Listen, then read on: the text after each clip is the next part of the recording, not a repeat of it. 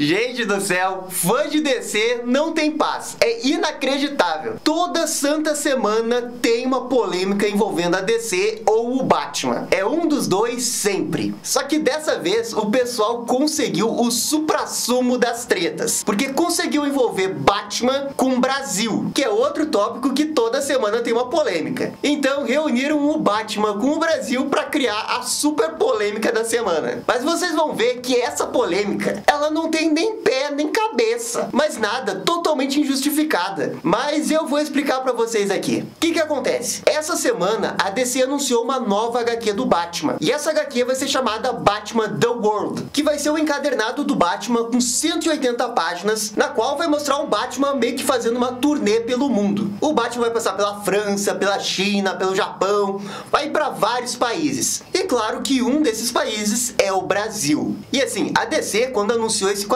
divulgou várias páginas das HQs e de vários pedaços dessa história, né, do Batman em cada país. E assim, ó, um centavo para quem conseguir adivinhar qual país que deu polêmica. É óbvio que ia ser o Brasil. Porque o que que acontece? A DC divulgou essas páginas aqui do Batman no Brasil. Temos essa capa maravilhosa do Batman em São Paulo e ali atrás tem um prédio muito conhecido de São Paulo, que é o edifício Altino Arantes, no bairro Banespa em São Paulo, que até onde eu sei é o prédio mais alto de São Paulo e vai dizer que esse prédio não tem tudo a ver com Gotham. Pô, pra mim é quase Gotham esse prédio. Bem, mas até aí não tem polêmica, né? É só o Batman num cenário brasileiro. A gente já viu isso antes. A polêmica de fato é com as páginas internas dessa HQ, que são essas aqui que vocês estão vendo.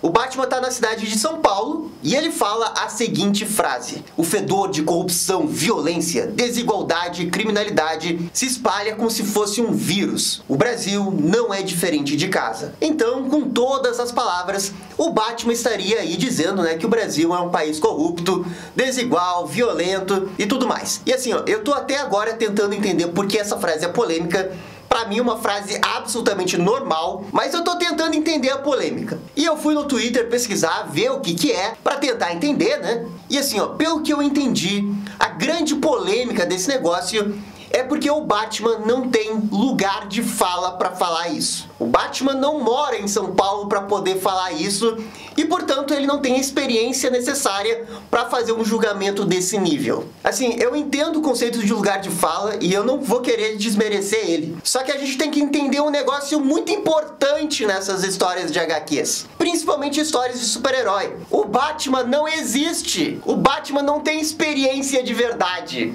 O Batman não mora em Gotham. Gotham City não existe.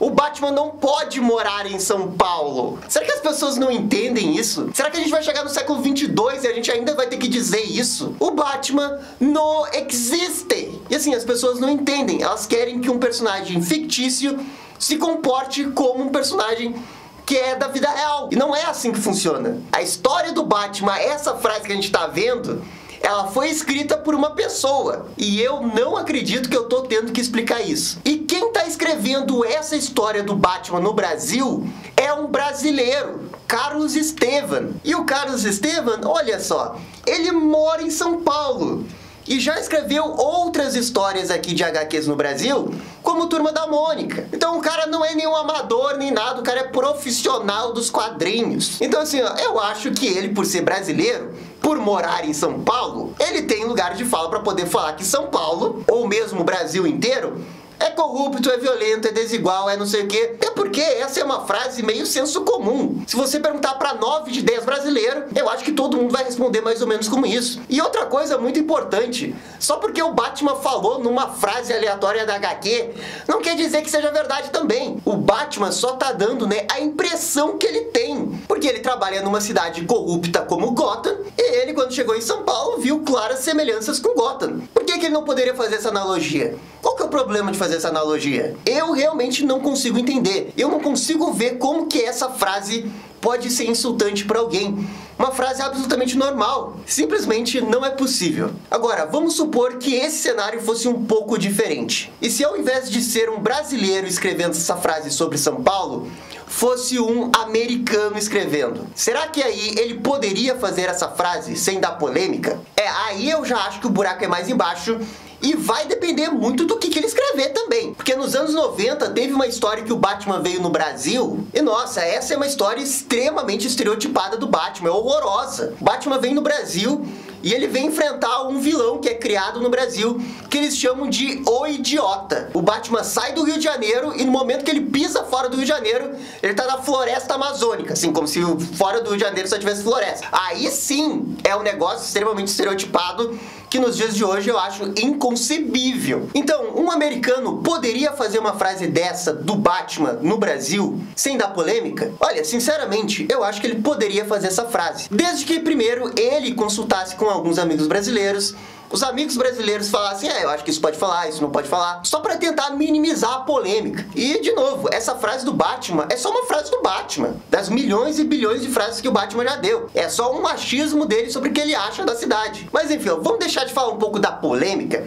e falar da coisa boa desse quadrinho, porque a história parece ser muito legal. Eu sempre imaginei uma história do Batman no Brasil, na qual de alguma forma eles iriam abordar corrupção. Isso foi sempre uma coisa que estava na minha cabeça, tá ligado? E eu acho legal que eles vão tentar fazer essa história. Tomara que realmente seja muito boa, tenho confiança que vai ser boa. E uma coisa que de cara eu já gostei é a ilustração dessa HQ. Nossa, a ilustração tá demais. Inclusive eles mostraram ilustração de vários outros artistas, da França, do Japão, da China. Pô, e a do Brasil é uma das melhores ali, com certeza. Pô, olha aqui o Batman né, lutando contra o crime no meio de São Paulo. Quem nunca sonhou em ver isso? Pô, muito legal. E também é muito legal que eles não estão fazendo a história no Rio de Janeiro. Porque 90% 90% das vezes que tem uma história da DC no Brasil é do Rio de Janeiro. Então eu acho legal mudar um pouco de cidade. Esse ano a gente já teve a Yara Flor no Brasil e não foi no Rio de Janeiro, graças a Deus. E agora uma outra história do Batman e é em São Paulo. Pô, pelo menos mostra que Brasil não é só Rio de Janeiro, tá ligado? E também a gente tem uma pequena ilustração de como vai ficar finalizada essa HQ colorida. Porque quem tá responsável pelas cores é a Fabi Marques, que já fez algumas HQs muito legais, que até vou citar aqui, que foi a responsável em colorir essa HQ apagão. Gente, nossa, a colorização dessa HQ é fantástica, tem tudo a ver com Batman. Pelo que a gente deu pra ver nessa imagem e vendo o trabalho dela antigo, eu acho que vai ter tudo a ver. Tem tudo para essa história do Brasil ser a melhor desse catálogo aí do Batman Mundial. Então, assim, gente, não há nenhum motivo para polêmica. Nenhum. É, pelo menos para mim, né? Porque vai saber o que outras pessoas pensam. Tô muito curioso para saber a opinião de vocês. Por favor, comentem aí se vocês acham que essa polêmica tem cabimento ou não tem cabimento. E, pô, eu acho que a gente tem que ficar um pouco grato quando finalmente tem um projeto brasileiro fazendo uma HQ do Batman na DC Comics.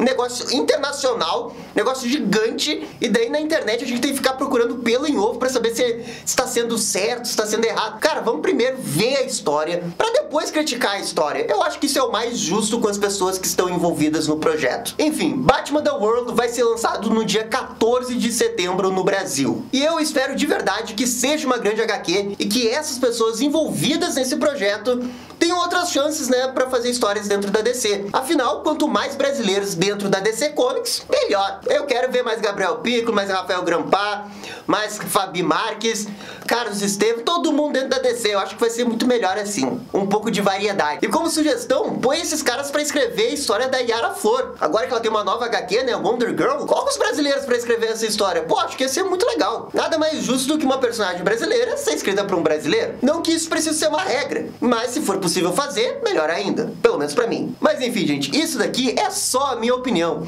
Por favor, comentem aí o que vocês acharam desse negócio. Valeu, gente, até a próxima e dale descer. E esse foi o nosso vídeo, né, sobre a polêmica do Batman no Brasil. Inacreditável. E aí, gente, gostaram? Não gostaram? Deixem suas opiniões nos comentários. E muito, muito obrigado para todo mundo que apoia o canal no Padrim e nos membros do YouTube. Valeu, gente. Até a próxima. Tchau, tchau.